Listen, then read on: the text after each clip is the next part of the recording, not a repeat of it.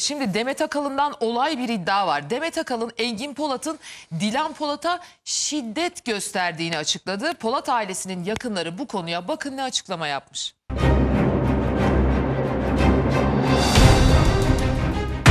Olay olay. Demet Akalın yer aldığı bir programda olay yaratacak açıklamalar yaptı. Akalın'ın Dilan Polat iddiası magazin dünyasını sarstı. Engin Polat Dilan Polat'a şiddet mi gösteriyordu? Dilan Polat'ın yakınlarından ne cevap geldi? İddialar doğrulandı mı? Engin Polat dayakçı eş mi? Çok yıprattım şurayı çok yıprattım seni. Her zaman kıskandılar her zaman. Her zaman. Hayır. Allah seni başımdan eksik etsin. Amin. Amin. Sosyal medyada gösterdikleri mutlu aile tablosu yalan mıydı? Peki olayların takipçisi Deniz Akkaya'nın Dilan hakkında paylaştığı hangi belge şoke etti? İran bağlantısı ne? Dilan Polat dosyası kapanmıyor hatta her geçen gün yeni detaylarla birlikte biraz daha genişliyor. Geçtiğimiz gün gazeteci İsmail Saymaz'a bir mektup yazan Dilan Polat cezaevi sürecinde neler yaptığını anlatmıştı. Dilan Polat içeride olmasına karşın ünlü fenomen o kadar büyük bir ağ içine düşmüş ki haliyle hakkındaki iddialar da haberlerde bitmek bilmiyor. Dün televizyon ekranlarında sıcak dakikalar yaşandı. Söylemezsem olmaz yine Dilan Polat dosyasını masaya yatırdı. Dilan Polat'ı konuşan sadece biz değildik. Ünlü şarkıcı ve şimdilerde yorumculuk yapan Demet Akalın Dilan Polat'la ilgili olay açıklamalar yaptı. Orada Engin onu dövüyordu. Buraları mosmordu. Dilan Polat'ın eski mesleğini yine gündeme getirdi. Engin Polat dayakçı eş miydi? Ünlülerden prim mi yapıyordu? Bu iddiaların ardından geçtiğimiz günlerde Şule üzerinden yaptığımız bir habere cevap veren Dilan Polat ailesinden popülaritesi şimdilerde biraz artmakta olan bir kişi Demet Akalın'a sert çıktı. Şükran Polat ve Sezgin Polat böyle bir şeye izin vermezdi dedi. İzin vermez dediği kişilerden biri olan Sezgin Polat'ın da dün böyle bir videosu gündeme oldu. Bakın şiddete karşı olduğunu düşündüğü Sezgin Polat dün yayınımıza konuk olan Ömer Turgut'u nasıl dövmeye çalışıyor. Ne? Vursana bana bir tane vur bana hadi bir tane vur. Görün değil mi şu an? Bana bir tane vur bir tane vur bana hadi. Ne yapıyorsun Sezgin abi? Bekle. Gerçekten hanımefendi yine zemini çok sağlam tezleri savunuyor. Kendisini daha çok takip edeceğiz. Öte yandan Dilan Polat'ın şubelerinde kayyımlar çalışmaya devam ediyor. İddianame hazırlanana kadar kayyımlar elde ettiği verileri mahkemeye sunacak. Peki fenomenler dünyası sizce önümüzdeki yıllarda Türkiye'de nereye gidecek? Artık herkes fenomen olabilecek mi? Ali Yerlikaya önderliğinde başlayan operasyonlar ülkeye ne gibi katkılar sağlıyor? Haksız kazanç, adaletli bir sisteme oturtulabilecek mi? Sosyal medyadan bu kadar para kazanılması mümkün mü? Sosyal medya ne ara böyle bir ticari altyapıya oturdu? Dijital dünya artık tamamen sosyal medyada mı olacak? Medyanın yeni yüzü fenomenler olacaksa son günlerde çıkan haberlerde karşılaştığımız karanlık yüzler insanları, gençleri nasıl etkileyecek? Engin Polat arasındaki o kusursuz aşkın bir balon olduğu ve gerçekte Engin Polat'ın e, Dilan'a şiddet uyguladığını söyledi Demet Akalın canlı yayında. Böyle kolları mosmor geliyordu yanımıza dedi. Evet. Çok ciddi bir Ben iddia. şaşırmadım. Biz Ben- daha önce bunu söylemiştik değil mi? Sen belirtmiştin Selen. Şöyle olmuştu. Şiddet uyguladığını. Daha önce bizim programımızda bu böyle şöyle gündeme gelmişti. Banu Parlak bize konuk oluyor ya zaman zaman telefonla katılıyor ya. Bir katıldığında Banu Parlak söylemişti bunu. Banu Parlak Dilan Polat'la çok eski arkadaş biliyorsunuz. Ben onlarla görüşürken demişti. Ailece görüşürken bundan 3 sene evvel bu böyle olaylara şahit olmuştum demişti. Yani Engin'in e, Dilan'a şiddet uyguladığına şahit olmuştum demişti. O e, kırmızı reçete ilaçlar kullandığını söylediği gün Dilan Polat'ın. Ben de hatırlarsanız ben o aşka çok inanmıyorum. Hatta bence Dilan Engin'e çok aşık. Ee, Engin çok orada yok. Ama Nezdemir'de bağlandığında e, hani ben onları tanıdığımdan beri çok aşıklar birbirlerine gibi bir açıklamada bulunmuştu. Tabii ki ben bu şiddet olayına hiç şahit olmadım ama tahminimce böyle bir şeylerin olabileceğini öngörmüştüm. Ee, ve yani yansıyan bu Dilan Engin aşkının gerçek olmadığını biliyorsunuz her zaman da altını çizdiğim için zaten Engin'in hep Dilan'ı kullandığını söylüyorum. Hem şiddet hem aşk bir arada olmaz mı diyorsun? Olmaz. İnsan sevdiğinin canını yakamaz. Aynen öyle. Gerçekten seven insan hiç kimsenin, hiçbir canlının canını yakamaz. Nasıl aynen öyle diyorsun? Ya e, dayak yiyen yediğiz dayaktan tat alıyorsa, zevk alıyorsa ya ruh devirmek hastası. istiyorsa. O hastadır o zaman Bilal abi. Banu Parlak ne demişti Dilan Polat'la ilgili? Kırmızı reçete ilaçlar kullanıyor demişti. Psikolojik olarak dengesiz demişti. Ya akıl sağlığı yerinde olmadığı için mi her şeye sustu? Mazoşist- Yorumu- yorumu seyircilere bırakalım. Seyircilere bırakalım bu yani konuda hem yorumu. bipolar, şizofren, mazoşist yani o kadar da değil ya. Sonuçta e, sadece çok aşık bir kadın. Bakın şimdi Dilan Polat'ın psikolojik olarak değerlendirecek olursak sonuçta travmatik bir aile yapısı var. O yüzden hayatına giren erkek onun sadece sevgilisi değil. Onun babası, abisi, ailesi çok fazla anlam yükler ilişkisine.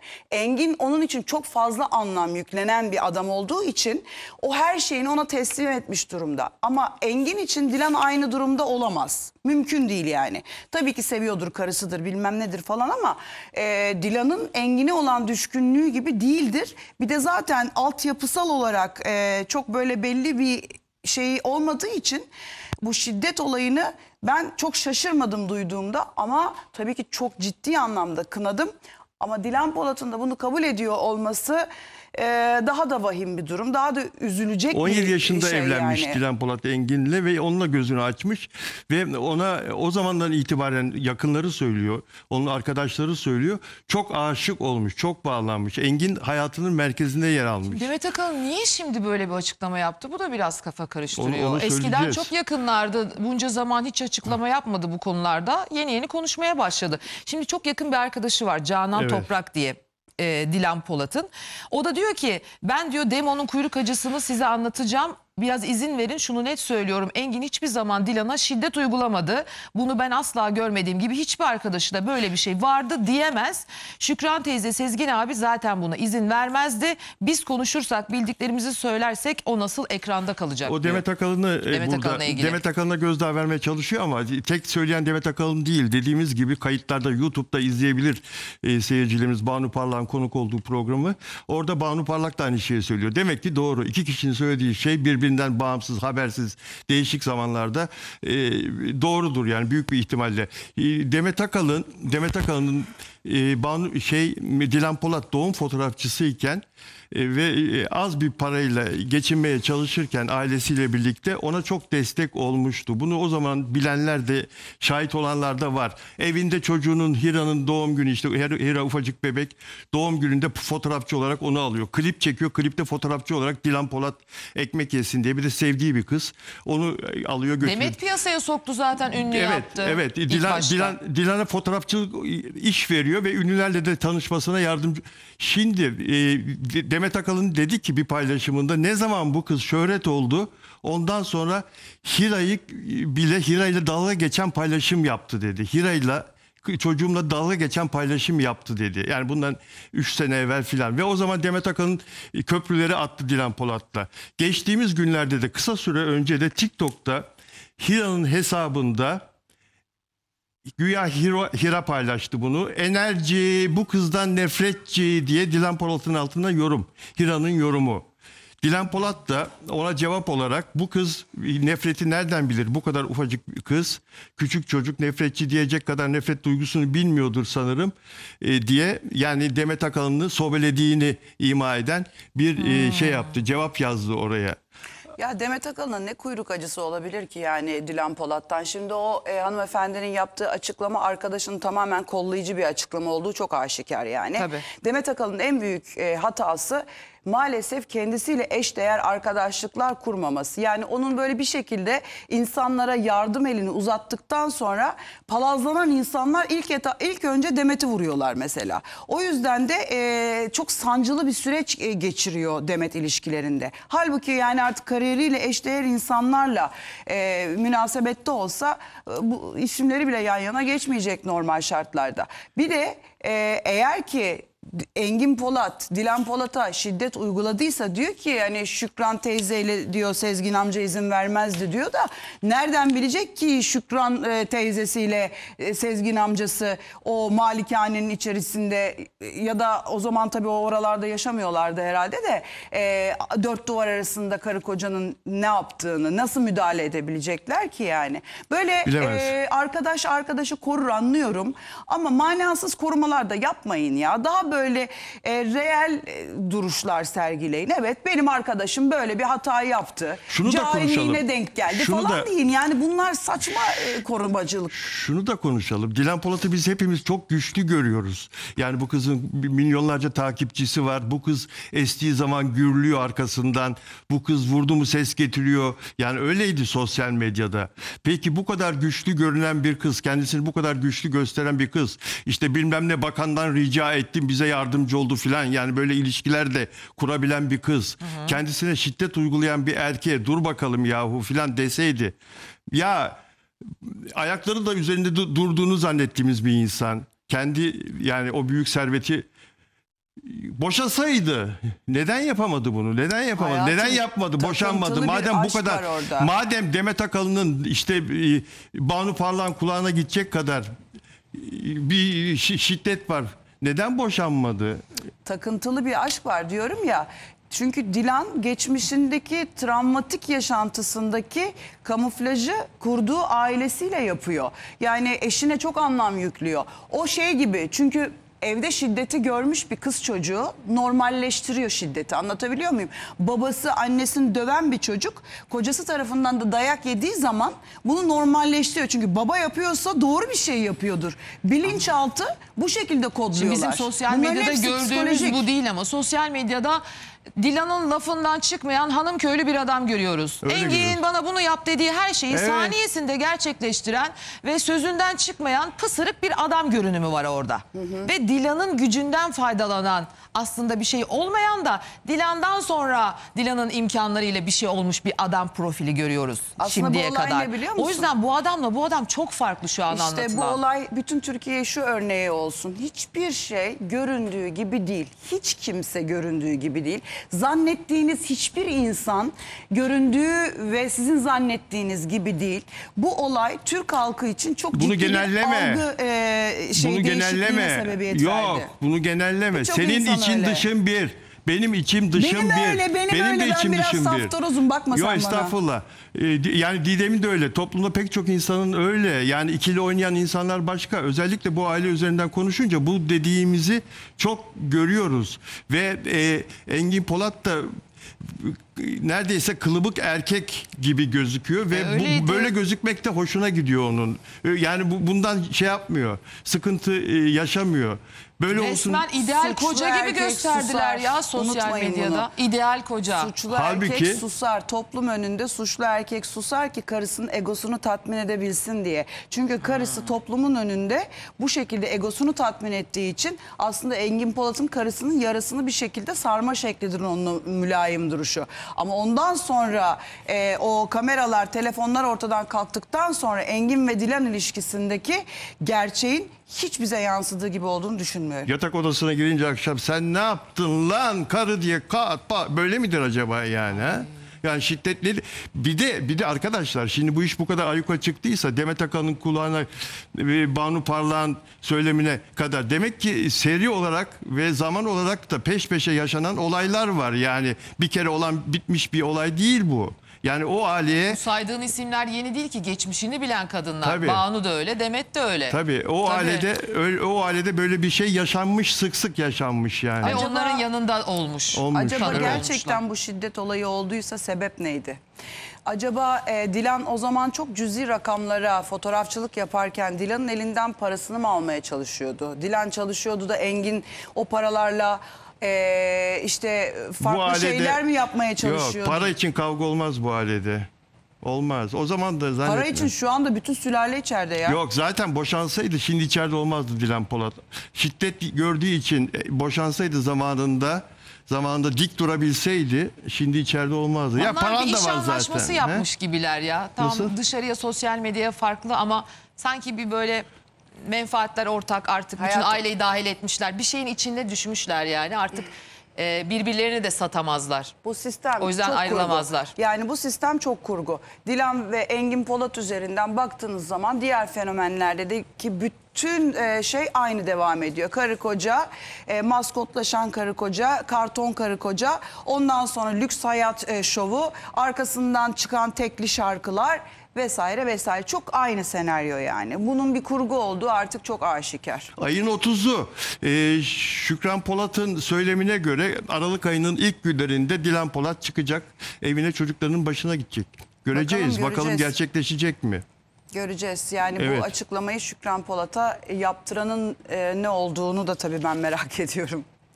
Ben de Evet. mi diyorum yani ortada hiçbir belge bilgi yok bir şey yok yani neye dayanarak çıkacak diyorlar bu kadar Muhtemelen yaydılar bu avukat, algıyı sosyal avukat, medyada. Avukat, avukat öyle E, Her şey avukat tabii ki yani müvekkilinin çıkmasını ister değil mi? Yani davasını başarıyla sonuçlandırmak ister de yani temennilerle gerçekleri karıştırmayalım.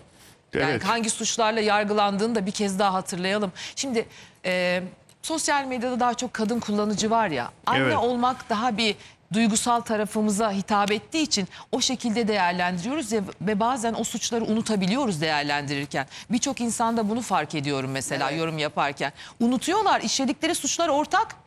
Aynı yani Engin ne yaptıysa Dilan da aynısını yaptı. Hafifletici bir durum yok burada. Ama anne olması, kadın olması bizim hassas noktalarımız Bir de hep değerlendirmelerimizi halkla öyle maalesef ya da böyle etkiliyor. bir sempati kurmuş E olması. tabii. İşlerinde en sevimlileri de yine Dilan. Diğerleri düşünecek olursa. Diğer o fenomenler. Tabii, işte Eylüller, He, Nezler evet, falan evet, evet. En düşünecek doğalı, olursa. Evet, en evet. e, e, halkla böyle sempati ve bağ kurmuş olanı Dilan gerçekten de. Ama işte yani hala ben bilmiyorum ya Dilan'ı böyle korumak için söylemiyorum ama ben Engin'le aynı şeyleri birebir yaptığını düşünmüyorum. Gerçekten düşünmüyorum. İmzası var. Kendi Var şirketleri da var. yani Hiç kız öyle deme. zaten Allah'ını Hiç öyle deme. şaşırmış adama aşık adam dövüyor ediyor bilmem ne yapıyor imzala şurayı diyordur o da imzalıyordur yani. Ha, dayakla mı imza atmıştır? Şirketleri dayakla mı kurulmuştur? O- o- Yok Bak, yani. Bu ciddi bir iddia ha. Ama bunu Dilan Polat'ın söylemesi lazım savcıya. Beni dövüyordu, imza at diyordu, imzalıyordum. Hakim bey, savcı bey. Yani o söylemezse bunu kim ne- nereden bilecek? Hafifletici neden Engin'in olması için. zoruyla mı imza attılar Yani, yani? bu öyle söyledi bak buraya imzala diyordur dedi. Yok ya. Zorla Zorla. İmzalatıyor olabilir Engin bazı şeyleri. Ama şöyle bir süre sonra da zorla değil artık neyi imzaladığını bilmeden tamamen sisteme kendini teslim eden bir kadın görüyorum ben. Yani için e, işin içeriğindeki o detaylardan çok haberdar olmayan. Nasıl olsa para geliyor diye sormuyordur Dilan diyorsun. O kısma girmedi yani. İmzaya ve dayağa Bence de. alışmış Dilan Polat demek istiyor. Ya bak şöyle düşün. Para için ha? Ee, altyapısı olmayan bir kadın tamam mı? Anası yok, babası yok. Psikolojik Evet. travmaları ve sorunu var ve bir e, kocasına da deliler gibi aşık ve parasızlar. Ve lüks hayata da zafiyeti var. Paraya da zafiyetleri var. Bir kere de zaten ihtiyaçları da var her şeyden önce. Ondan sonra sosyal medyada böyle bir şekilde bıcır bıcır e, fenomenleşiyor. Popülarite elde etmeye başlıyor. Evet. Derken kocası ve kayınpederinin bağlantılarıyla e, bir şeyler geliyor gidiyor. Aa diyor Dilan diyor mesela bak diyor işte sen şuradan şöyle bir şey yaparsan bize şuradan para gelecek. Gerçekten mi Engin? Tamam yapıp imza atıyordur. Yani bu kadın bu işin detayını hadi canım sonra başımız belaya girer gibi sorgulamaları yapacak tecrübede olduğunu düşünmüyorum ben. Ama imza yetisi, imza e, atma e, kabiliyeti olan e, hukuk hukuken kanunlara göre e, imza atma yetkisi olan bir insan bunu da düşünmeli. İmzanın karşı imza nereye gider? Bunu Aa, düşünmeli. aa, Bilal abi İmzanın herkes o olur? yetki, Olur yetide mu? olup o, o imza yetisinde olsa zaten o zaman mahkemeler iş yapmaz. Yani herkes Yok. maalesef aynı düşünce yetisine ve kapasitesine sahip değil ki.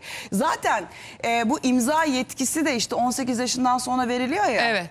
Yani o kadar e, bilinçsiz atılan imzalar var ki. Peki 15 fenomene yurt dışı yasağı ve tedbir kararı geldi. Hangi fenomenler sıcak gelişme hepsi reklamlardan sonra.